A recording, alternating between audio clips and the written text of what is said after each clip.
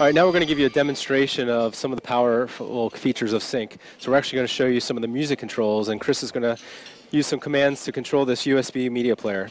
Uh, so I'm going to show you how to use Sync to play your favorite song. Uh, I'm going to have to speak a little bit lower here because of the open environment here. So I'm going to play uh, one of my favorite tracks here by just hitting the button on the steering wheel. USB.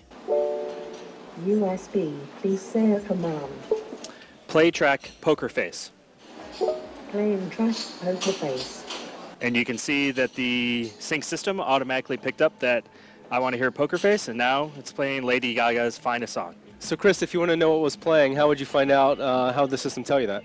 So you can just hit the button again. What's playing? Playing Poker Face by Lady Gaga from the album The Fame. And you can see Sync tells us uh, what artist is playing, what song is playing, and what album it's from.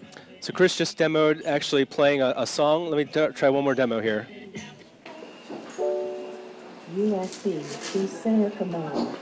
Play artist Michael Jackson. Playing artist Michael Jackson. There you go. That's the power of Sync, offering the ability to control a USB player, to identify a, a song artist, album name, or even a genre.